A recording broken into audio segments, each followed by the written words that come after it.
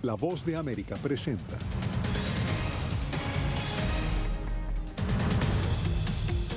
Presidente Biden envía delegación a El Salvador en medio de la crisis política en ese país. Comienza diálogo nacional en Colombia, pero las protestas se mantienen. Bajo riesgo de inundaciones, 250 familias piden acelerar las obras en diques fronterizos. Y tras más de 10 tiroteos en 48 horas en Estados Unidos, urgen nueva legislación en porte de armas.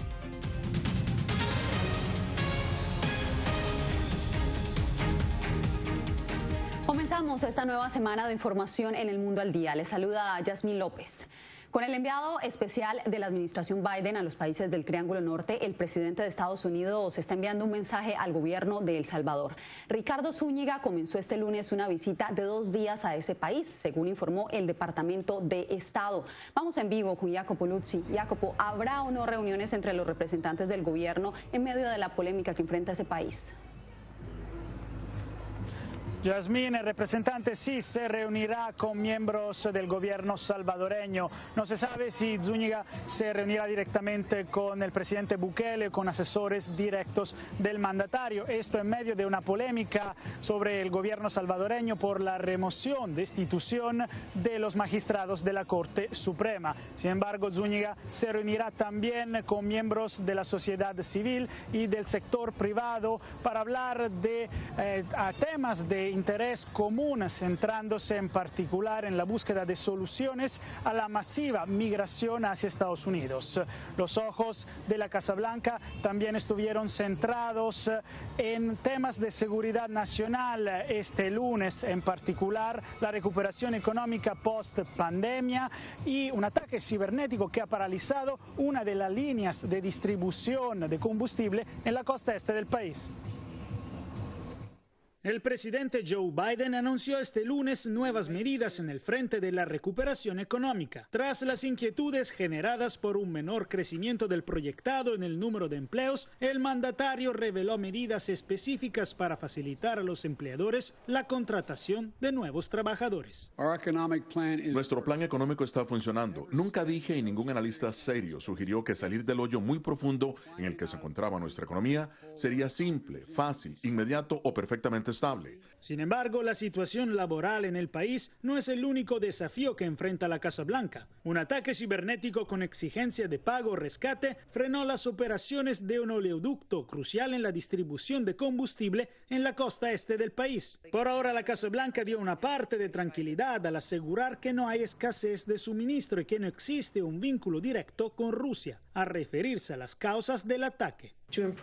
Para mejorar la ciberseguridad de nuestra infraestructura crítica, la administración Biden ya ha lanzado una iniciativa de alta prioridad para colaborar con nuestros socios del sector privado, fortalecer nuestras defensas y construir la resiliencia de nuestra nación. En el Frente Social, la Casa Blanca anunció este lunes una normativa que prohíbe a los proveedores de atención médica discriminar a las personas transgénero. Este es el paso más reciente en los esfuerzos del presidente Biden para restaurar las protecciones de los derechos civiles de las personas LGBTQ que fueron eliminados por su predecesor Donald Trump. El presidente Joe Biden este lunes se reunió virtualmente también con miembros del flanco este de la OTAN como Rumania y Polonia, eh, ofreciendo su apoyo a las posibles injerencias de Rusia en la región, en particular aumentando la cooperación con estos estados. Gracias por el reporte, Jacopo. Pasamos ahora a Colombia porque tras 13 días de protestas y la intensificación de la violencia en la ciudad de Cali, el presidente Iván Duque dio apertura este lunes al diálogo nacional. En la Casa de Nariño, donde avanzan las conversaciones, hacemos contacto con Jair Díaz. Jair, ¿qué ha trascendido del encuentro? Yasmín, el Comité Nacional del Paro y el Gobierno Nacional acaban de terminar esta reunión que duró más o menos unas tres horas. Hasta ahora entregan un balance. Y es que en el preámbulo de este primer encuentro entre las partes fue evidente el distanciamiento que existe. Por eso la importancia de que en la mesa haya garantes como la ONU y la conferencia episcopal. Al inicio de la jornada, el presidente de la República, Iván Duque, denunció los bloqueos como un secuestro a la población. El rechazo total a los bloqueos es fundamental, porque la sociedad colombiana no puede estar secuestrada.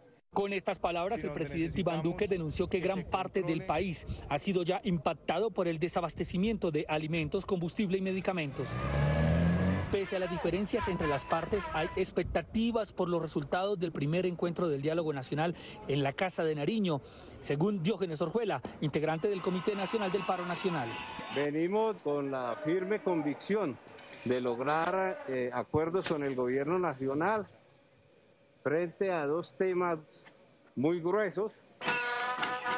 Aún así, los líderes del paro nacional afirmaron que el paro no se levantará. Presiones de protesta y movilización que se seguirán haciendo, podamos que este ejercicio de negociación se haga en un ambiente de paz y de garantías. En las últimas horas, al menos ocho heridos dejaron las protestas que una vez más se tornaron violentas en el sur de Cali. Esta vez se registraron enfrentamientos entre varios ciudadanos armados e integrantes de la minga indígena. Nos declaramos en asamblea permanente en alerta máxima. Todas las comunidades, pese a ese señalamiento, asesinatos. Las autoridades locales investigan cómo se produjeron estos nuevos hechos violentos. Mientras tanto, el paro en Colombia continúa, lo que acaba de decir el Comité Nacional del Paro. Los ojos del Vaticano también están puestos en Colombia. El Papa Francisco pidió la reconciliación para el país. Regreso contigo a los estudios, Yasmin. un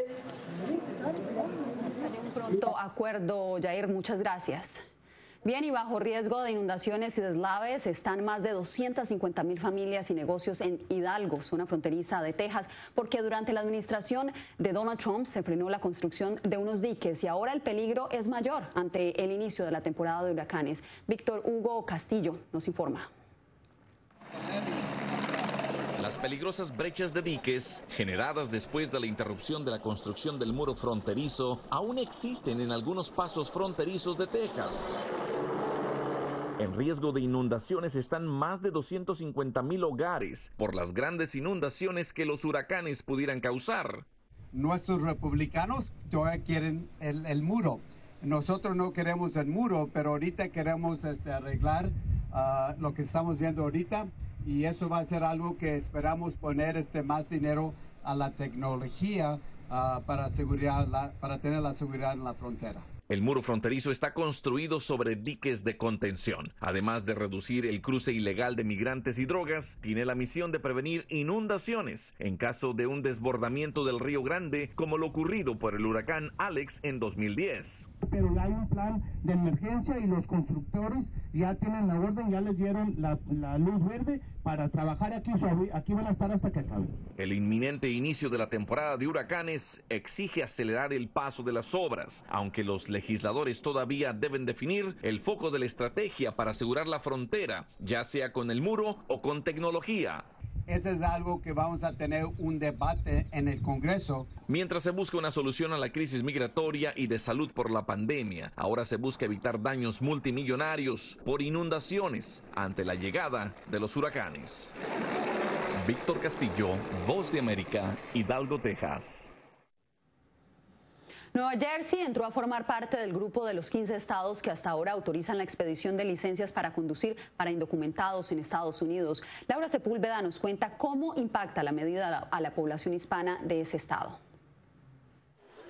para solicitar una licencia de conducción en el estado Jardín, Nueva Jersey, una prueba de identidad, de edad y de residencia son necesarias. Pero ahora los inmigrantes indocumentados tienen la posibilidad de obtener el documento tras la abolición del requisito de presentar un número de seguro social o de declaración de impuestos. Nueva Jersey se convirtió en el decimoquinto estado en ampliar el acceso a las licencias de conducir para conductores calificados independientemente de su estado migratorio. Dos años atrás la medida fue adoptada por el estado vecino Nueva York y Victoria Hernández, una de las beneficiadas, agradece la iniciativa.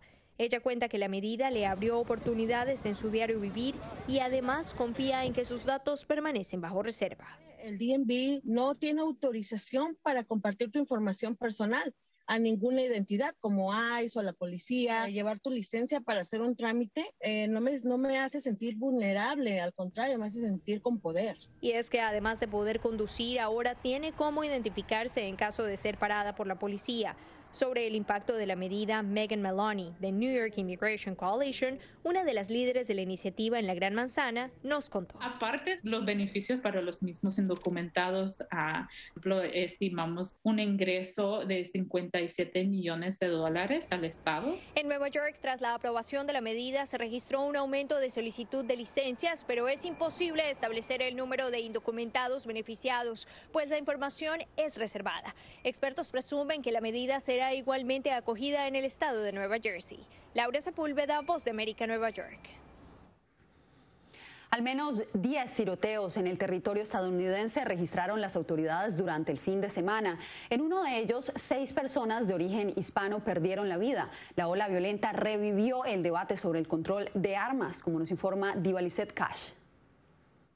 Alrededor de una decena de tiroteos ocurrieron este fin de semana, según el Archivo de Violencia por Armas en Estados Unidos. La cifra más alta de muertos se registró en Colorado Spring, Colorado. Durante una fiesta en la madrugada del domingo, seis personas y el atacante perdieron la vida, todos identificados de origen hispano. Un día antes, los medios cubrían el registro de un tiroteo en Times Square, Nueva York, donde tres personas, incluida una niña de cuatro años, resultaron heridas justo cuando el alcalde de la ciudad pedía mayor presencia policial en la zona y control en el porte de armas. La avalancha de armas ilegales debe detenerse en nuestra ciudad. Sobre el tema, la presidenta de uno de los grupos de defensa de control de armas más antiguo de Estados Unidos urgió avanzar en dos proyectos que circulan en el Congreso, los cuales cerrarían lagunas legales en exhibición de armas, ventas privadas y verificación de antecedentes.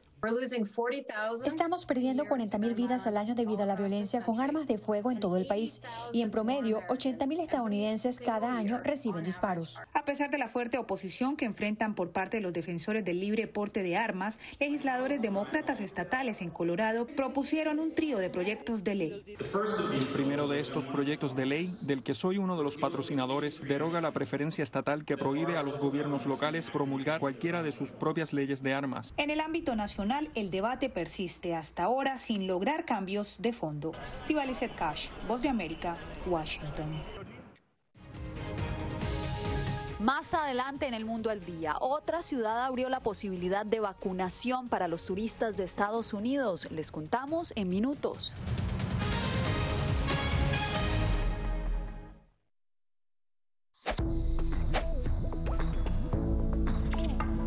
Organización Mundial de la Salud asegura que las mascarillas son esenciales para eliminar la transmisión del nuevo coronavirus y salvar vidas. Por ello recomienda su uso cuando se está en lugares concurridos, donde no se pueda mantener el distanciamiento social y en lugares con poca ventilación. Cuando se habla de mascarillas para protegerse del COVID-19, se refieren generalmente a la mascarilla quirúrgica, el respirador N95 o las de tela. Las mascarillas quirúrgicas planas, rectangulares y desechables protegen al portador de gotas de partículas grandes del virus e impiden que los enfermos la esparzan cuando tosen o estornudan. Los expertos advierten que solo deben ser usadas una vez. El respirador N95 de forma oval y más ajustado a la cara tiene una válvula de exhalación que ayuda con la humedad y el calor cuando respiramos. Además de filtrar partículas grandes, puede impedir que pase el 95% de las partículas pequeñas de virus y bacterias. Ante la escasez, muchos han recurrido a hacer sus propias mascarillas y en efecto los expertos confirman que estas mascarillas caseras pueden ser efectivas. Las mascarillas nos pueden servir como una barrera aislante para las secreciones, pero tener mucho cuidado porque hemos visto gente que eh, usa la mascarilla, pero al acomodarse la mascarilla se está tocando la cara, y eso es justamente lo que queremos evitar, es que la gente se esté tocando la cara en estos momentos porque cuando uno está en lugares públicos puedes estar pasando la mano por una superficie que ha sido tocada por otras personas y que puede estar contaminada y luego sin querer eh, te puedes llevar la mano a la cara.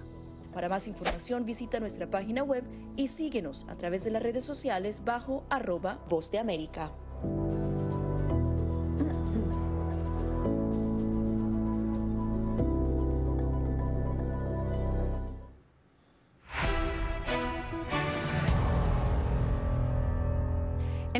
Unidos, la vacuna contra el coronavirus está a un paso de llegar a los preadolescentes y ellos no serán los únicos beneficiados. En algunos condados de la Ciudad del Sol, cientos de turistas ya se han vacunado. Por eso vamos a Miami, donde se encuentra José Pernalete con todos los pormenores. Adelante, José.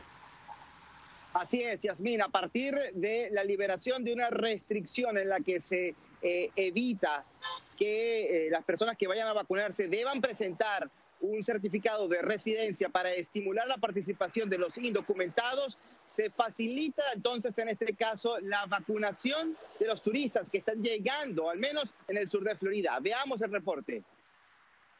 En las playas de Miami se hizo una extensa cola formada por temporadistas, en su mayoría turistas extranjeros, que esperaban su turno para vacunarse contra el coronavirus. Viajeros hispanos de distintas naciones aprovecharon la oportunidad para colocarse la dosis y protegerse contra el COVID-19. En México hay pocas vacunas y solo se le están poniendo a los adultos mayores y pues yo como joven, eh, la verdad ni siquiera hay posibilidad de que pase, ¿no? Entonces pues fue más fácil venir aquí. En algunas jurisdicciones estadounidenses no están exigiendo la prueba de residencia en el estado para estimular la vacunación de personas indocumentadas. Esta flexibilización ha permitido que personas de visita en la nación puedan vacunarse. Escuché de la vacuna, entonces me acerqué para ver si consigo la vacuna. Sí. En mi país la situación está un poco crítica, ah, la vacunación avanza, pero en un proceso lento. En esta jornada de vacunación estaban disponibles 175 dosis. La municipalidad de Miami Beach estaba supervisando la actividad. He tenido una persona que ha expresado cierta preocupación por el Johnson Johnson. Todos los demás parecen querer el Johnson Johnson porque no van a tener que volver y tener otra oportunidad. Esta flexibilización se suma a la anunciada por el alcalde de Nueva York, quien anunció que permitirá la vacuna a los turistas. Entre tanto, es inminente la aprobación en Estados Unidos de la vacuna para preadolescentes y adolescentes entre 12 y 15 años de edad. Por cierto, el eh, jefe de asesores del eh, equipo de respuesta especial contra COVID-19 de la Casa Blanca, Anthony Fauci, dijo que es posible incluso ahora eh, ir previsualizando la posibilidad de que personas en espacios interiores puedan reunirse sin el uso de la mascarilla, todo en virtud de a mayor personas vacunadas en Estados Unidos. Yasmin.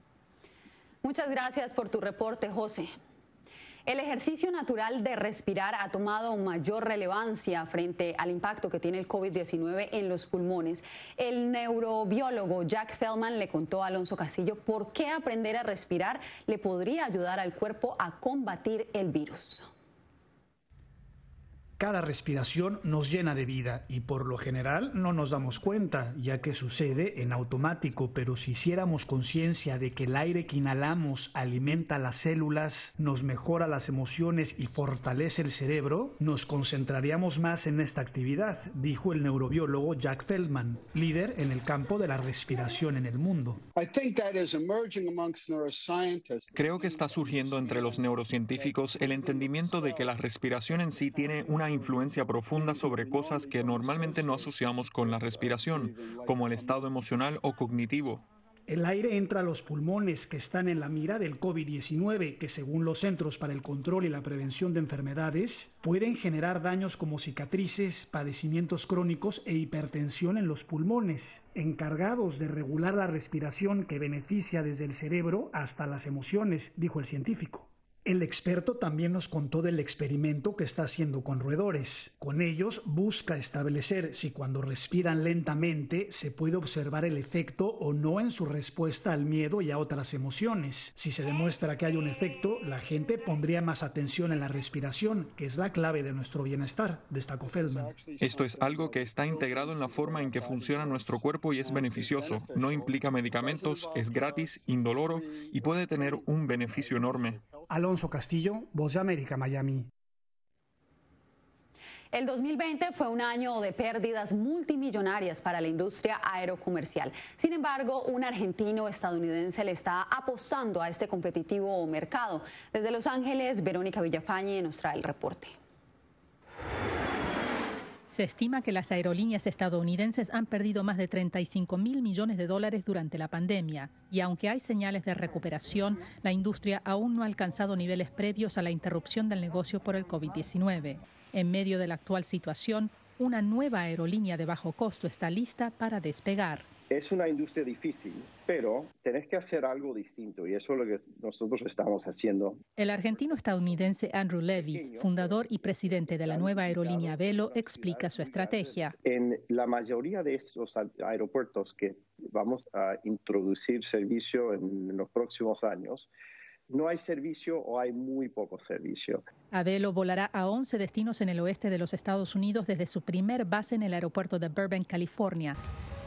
Aquí presenciamos preparativos del personal y una prueba del equipo antes del vuelo inaugural.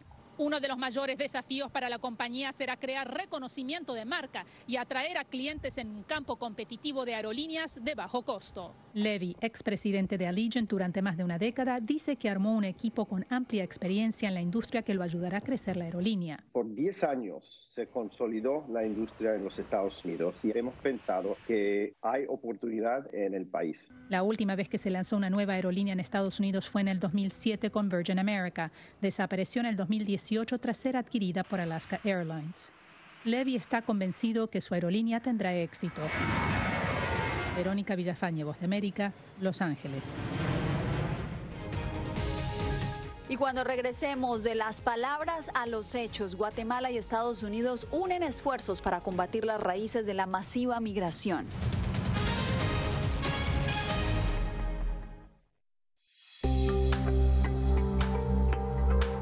Medio de la pandemia del COVID-19, muchos quieren saber cómo darle una mano a su sistema inmune. El que va realmente a combatir el coronavirus es nuestro sistema inmune, que es nuestro sistema de defensas que va a luchar contra el virus cuando aparezca. Aquí te damos cinco consejos sencillos para mantener tu sistema inmunológico funcionando de manera óptima. Consume una dieta rica en frutas y verduras que incluya alimentos con un alto contenido de vitaminas A, B, C, D y E, así como los minerales hierro, zinc y selenio. Una alimentación saludable reduce el riesgo de adquirir enfermedades crónicas, también reduce la probabilidad de depresión y ansiedad no solo mejora tu perfil cardiovascular, sino que también reduce la presión arterial y ayuda a controlar el peso. La OMS recomienda unos 30 minutos al día, incluso repartidos entre tres sesiones. Muchos entrenadores ofrecen ahora cursos en línea, a veces incluso gratis. Mientras dormimos se reparan las células, se eliminan las toxinas, se procesa la información y se fortalece nuestra memoria. Para la mayoría de las personas, de 6 a 9 horas de sueño son suficientes. Lávate las manos con frecuencia por lo menos durante 20 segundos. Asegúrate de hacer el proceso bien, frotando todas las partes de ambas manos y muñecas. Las antibacteriales funcionan mejor si contienen un alto porcentaje de alcohol. Las funciones metabólicas dependen del agua. Consume alimentos ricos en agua como frutas, verduras y sopas. El té y el café son diuréticos, así que no cuentan en la dosis.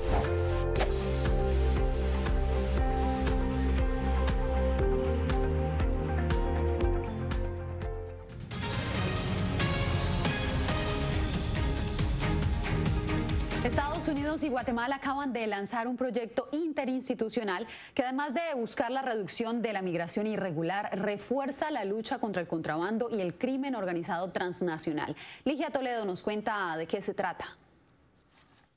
Con nuevos puestos de control en cuatro departamentos de su territorio y en cooperación con el gobierno de Estados Unidos, las autoridades guatemaltecas buscan reducir el tráfico ilícito y las actividades criminales de organizaciones transnacionales en carretera y en las fronteras. Hugo Guevara, director de la sección de asuntos antinarcóticos y aplicación de la ley de Estados Unidos, anunció la asignación de un millón y medio de dólares a Guatemala para financiar una primera ronda de puestos de control. El embajador de Estados Unidos en Guatemala, William Pop, aseguró. Este puesto de control es una muestra del compromiso conjunto que existe entre nuestros gobiernos para enfrentar estas amenazas. Según el presidente de Guatemala, Alejandro Yamatei, en 15 días se logró recuperar más de 500 mil quetzales en contrabando. Esto viene a ayudar y a reforzar al fortalecimiento de las instituciones en Guatemala. Vamos a tener un país mucho más comprometido con la transparencia que tiene que verse no solo desde el Estado, esta iniciativa hace parte de los acuerdos entre ambos gobiernos para combatir las raíces de la migración irregular y según el experto en seguridad internacional Lisandro Acuña, se ve con buenos ojos y no solo se ataca el tema del contrabando, sino que también eh, el tema de la trata, de la explotación sexual que se da eh, hacia Estados Unidos. Con base en los recursos de la cooperación, el presidente Yamatei se comprometió a finalizar el año con la instalación de nueve puestos de control en puntos estratégicos. Ligia Toledo, Voz de América, Guatemala. Nuestra realidad. A veces no tenemos ni para la repa. Cantando rap, jóvenes venezolanos le hacen el quite a la violencia, sus historias al regresar de la pausa.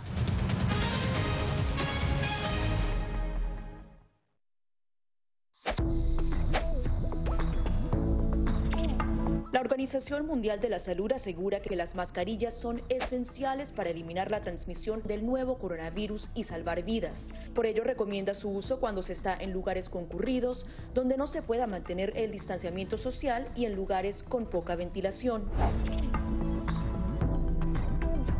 Cuando se habla de mascarillas para protegerse del COVID-19, se refieren generalmente a la mascarilla quirúrgica, el respirador N95 o las de tela.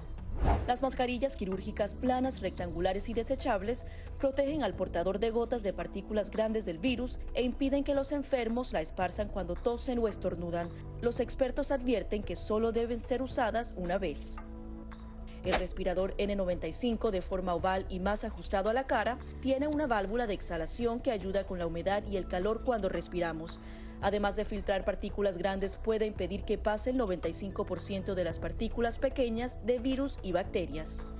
Ante la escasez, muchos han recurrido a hacer sus propias mascarillas y en efecto los expertos confirman que estas mascarillas caseras pueden ser efectivas.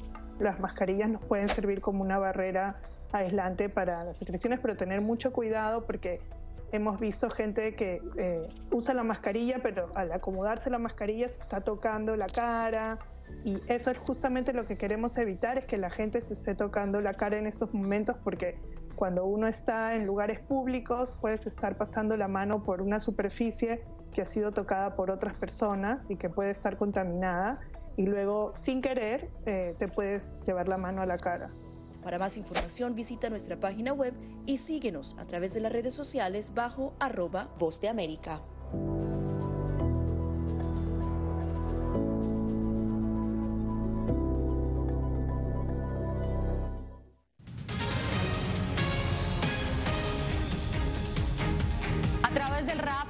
Jóvenes de uno de los barrios pobres más peligrosos de Venezuela buscan contar sus historias personales y romper con el estigma que los vincula con la violencia. Adriana Núñez Rabascal se adentró en su mundo y esto fue lo que encontró. Son ustedes todos bienvenidos a Asamblea. Esto no es un barrio, no es una utopía, es que esto realmente es ciudad. Cada sábado por la mañana, una veintena de jóvenes improvisa en la terraza de una humilde casa en Caracas un aula para recibir clases de narrativa y guion, a fin de componer temas que retraten sus preocupaciones y vivencias. Nuestra realidad. A veces no tenemos ni para la repa y tenemos seca, pero no importa, eso es hermandad. Están en San Blas, Petare, uno de los barrios pobres donde se registra el mayor número de homicidios en Venezuela. Pero eso no ha sido obstáculo, sino motor para impulsar a César a escribir letras de lo que define como rap de protesta. Sí estuve cerca de la delincuencia, en cosas malas, literalmente, pero yo dije que eso no era para mí. Vi que podía hacer más si no me metía en esa vida. John Daniel dice tener siete cuadernos con canciones sin concluir, pues componer le ha hecho romper sus miedos. He visto cantidad de cosas malas, policía, injusticia, pero siempre me has dicho algo en la cabeza de que tú eres lo que quieres ser, no lo que el sistema te dice que sea. A pesar de las precariedades que los rodean, los proyectos de hacer música, literatura y cine desde sus historias personales están entre sus principales ambiciones. Adriana Núñez Rabascal, Voz de América, Caracas. Y nos despedimos con una perspectiva aérea de los espectaculares fuegos artificiales de San Petersburgo, Rusia.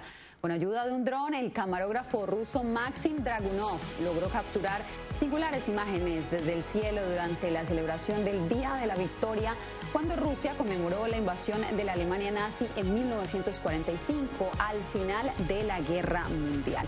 A ustedes, gracias por su sintonía. Mañana nos vemos con más información aquí en El Mundo al Día.